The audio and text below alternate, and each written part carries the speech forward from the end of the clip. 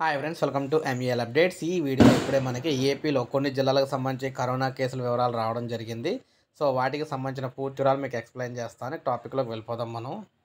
So ముందుగా మనం ఉమ్మడి గుంటూరు జిల్లా చూసుకున్నట్లయితే ఉమ్మడి గుంటూరు జిల్లాలో ఒకే కేసు అయితే నమోదు అవడం జరిగిందనమాట సో ఆ కేసు కూడా మనం చూసుకుంటే నగరపాలక పరిధిలోనే అంటే నగరపాలక సంస్థ పరిధిలోనే నమోదు అవడం అయితే జరిగింది.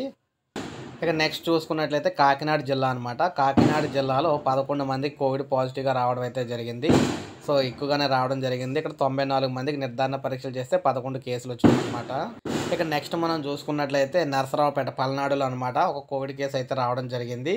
సో వినుకొండలో ఒక కోవిడ్ కేసు అయితే నమోదైనట్లు వైద్య ఆరోగ్య శాఖ అయితే తెలియజేసింది అనమాట సో ఇక్కడ కూడా అయితే ఈరోజు చూసుకున్నట్లయితే రాష్ట్రంలో మరికొన్ని జిల్లాలకు సంబంధించి కేసులు అయితే వచ్చినాయి. కాకపోతే అప్డేట్ అయితే రాష్ట్ర ప్రభుత్వం రిలీజ్ చేయలేదు. సో మనకు వచ్చిన అప్డేట్ అయితే ఈ ఇక్కడ ఈ ఐదు జిల్లాలకు సంబంధించి చూసుకోవచ్చు. ఉమ్మడి గుంటూరు జిల్లా మూడు జిల్లాలకు. అదేవిధంగా ఇక్కడ ఇక్కడ పల్నాడుకు సంబంధించి నెక్స్ట్ చూసుకున్నట్లయితే కాకినాడ డిస్టిక్ సంబంధించి వీటికి అయితే అప్డేట్ వచ్చిందనమాట సో ఇది ఈ రోజు అప్డేట్. ఈ వీడియో లైక్ చేయండి సబ్స్క్రైబ్ చేసుకోకపోతే మన ఛానల్ సబ్స్క్రైబ్ చేసుకోండి.